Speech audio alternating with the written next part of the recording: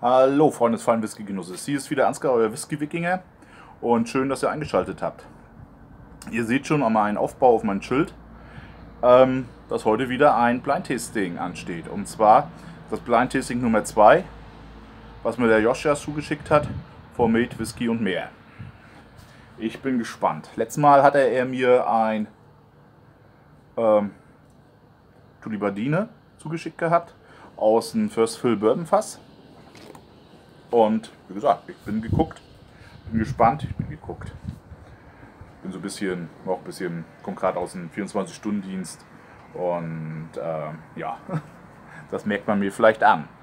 Ja, Tasting Nummer 2, hier ist der Lösungsumschlag, lege ich mal zur Seite.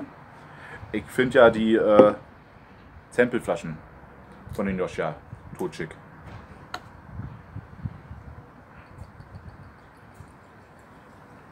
So. Reicht. Erstmal. Mal gucken. Beim letzten Mal musste ich mir auch nochmal nachschenken, um äh, ja, meine Lösungsidee zu infizieren. Und erstmal gucken. Eigentlich wollte ich heute. Ach, das mache ich. Ich habe mir am Wochenende, gestern, vorgestern, vorgestern habe ich mir äh, das Video angeguckt vom Whisky Bubble. Äh, Whisky Bubble, wo er, ja, geht bei ihnen um Schütteln.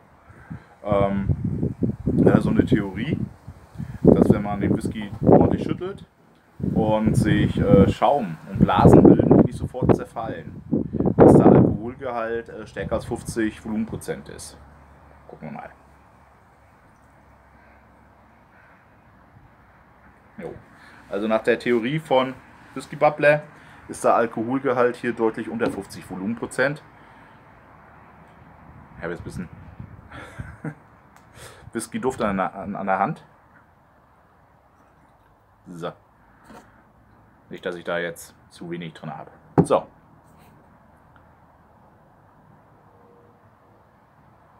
Oha.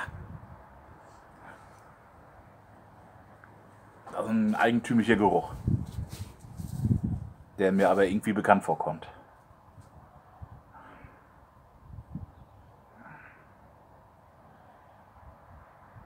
Also in der Nase habe ich jetzt nichts Stechendes. Also von der Nase her würde ich jetzt sagen, um die Theorie jetzt zu. Mensch, was ist das für ein Geruch? Um die Theorie von äh, Norm von Whisky Butler zu bestätigen, von der Nase her würde ich sagen, Alkohol. Also unter 46 Volumenprozent, aber mehr als 40, also ich denke mal so um die 43 Volumen. Wird er haben. Mehr nicht. Und das, was ich in der Nase habe, also am besten will, das ist keine Frucht. Das ist Gemüse. Das ist Gemüse.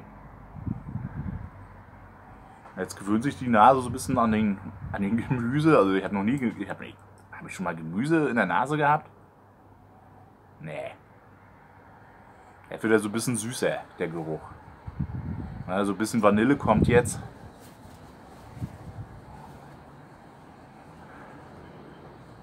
Null Rauch. Also wenn hier jetzt noch Rauch wäre, hätte ich gesagt, das ist ein schöner Erbseneintopf mit Rauchwurst oder Rauchfleisch, also Kassler oder sowas. Aber Rauch habe ich hier nicht. Ich habe hier bloß, ja, komischerweise Gemüse und eine Süße, die aber nicht von der Frucht kommt, sondern mehr von der Vanille. Dann gehe ich mal stark von aus, das werden Bourbonfässer sein. Also kein Cherry, kein Port, kein Weinfinish oder sowas. Das ist ein reiner Bourbon-Fass-Whisky. Er wirkt nicht jung. Na, wenn ich jetzt so vergleiche äh, mit den Tulibardin, äh, den er mir einen ersten Sample zugeschickt hatte, der war noch richtig jung. Ne? Da hatte er noch so ein bisschen hm, so eine leichte metallische Jugend. Auch schon in der Nase. Der hier nicht. Der wirkt deutlich ruhiger, gesetzter. Aber das ist ein ganz eigentümlicher Geruch. Also ich sag, ich habe noch nie Gemüse gehabt. in der Nase. Und schon gar nicht Gemüse äh, mit Vanille. Also da fällt mir jetzt auch nichts ein, mit was ich das so, so vergleichen könnte. Oder Gemüsepudding. Aber habe ich nie gegessen. Also wenn würde ich mir so Gemüsepudding so vorstellen. So ein Gemüse-Vanille-Pudding. Man hat sowas Puddinghaftes. Ne? Jetzt so kommt dazu ein bisschen was Cremiges in der Nase. Sahne, ja, Sahne, ein bisschen Karamell vielleicht. Interessant, also, also er ist nicht unangenehm in der Nase, ne? Also eigentlich gefällt er mir ganz gut von der Nase her.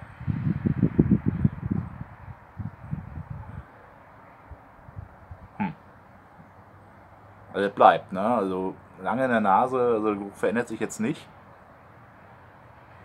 Muss die Uhr gucken. Wir haben schon ein paar Minuten im Glas, ne? Und er bleibt noch so. Okay. Ist auch nicht unruhig, also ich denke 43 Volumenprozent hat er. Ne, von der Farbe her ist ein satter Goldton. Okay, in dem Sinne, Joshua auf dich. Milch, Whisky und mehr.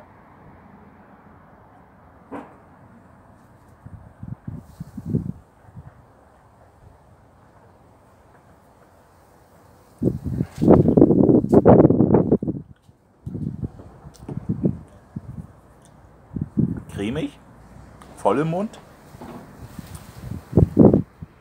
Jetzt im Abgang habe ich so eine leichte Schärfe auf der Zungenspitze. Aber so eine Schärfe von der Eiche. Also ich denke, der wird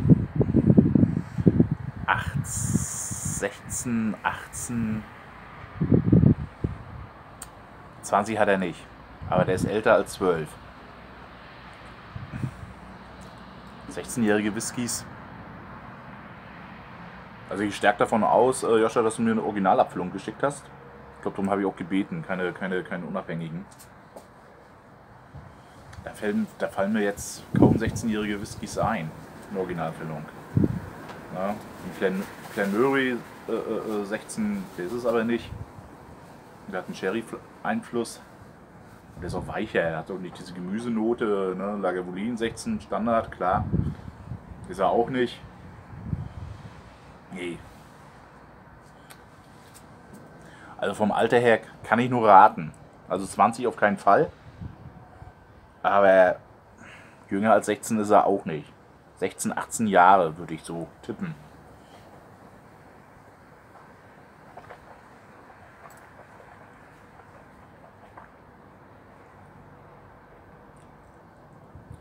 Na, cremig, leicht Schärfe,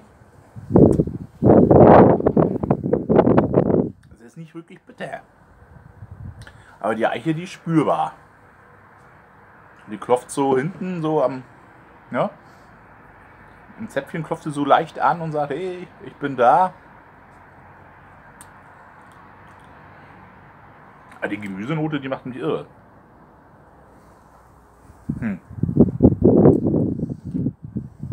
Keine Ahnung. Also ein Inselwhisky ist es nicht. Ja, Eiler schließe ich komplett aus. Cabletown auch nicht. Nee. Hm. Lowland Whisky ist es auch nicht. Ein Space Cider. Aber was für ein Space Cider hat eine Gemüsenote?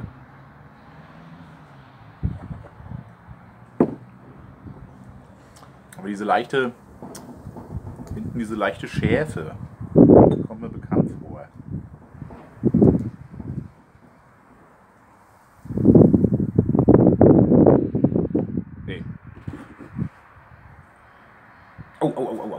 das? Ah. Da kommt so ein komisch, jetzt, jetzt kommt ein unangenehmer Geruch.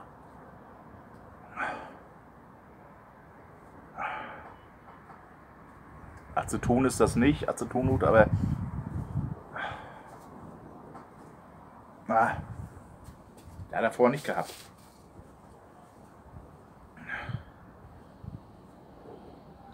Er verfliegt sie wieder.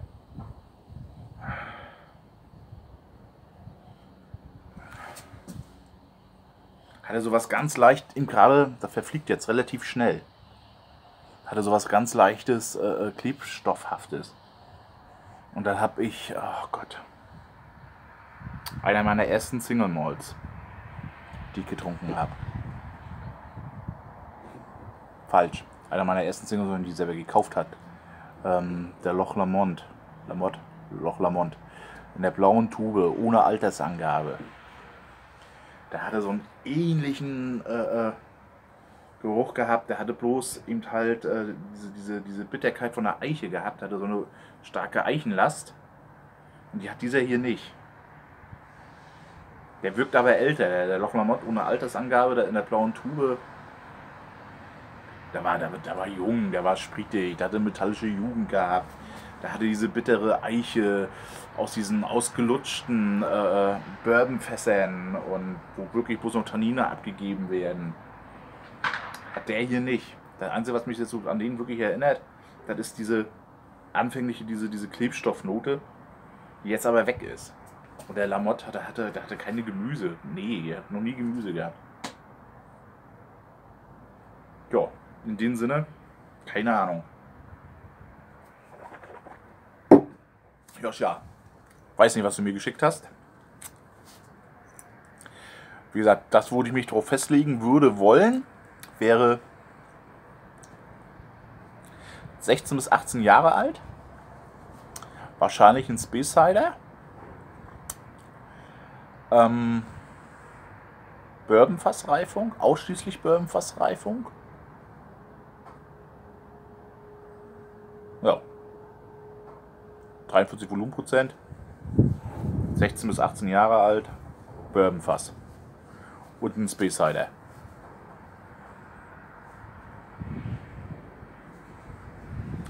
Mehr kann ich nicht sagen. So. Aber wie gesagt, interessant. Ne? Also die Gemüsenote, die hat was.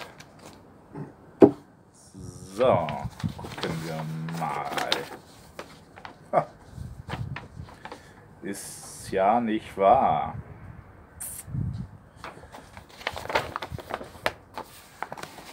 Ich weiß nicht, ob ihr es erkennt. Also ist er tatsächlich ein Loch Lamont, 18 Jahre, 43 Volumenprozent. Ich denke, Loch Lamont ist ein Space Cider. Ne, 43 Volumenprozent hatte ich gesagt gehabt.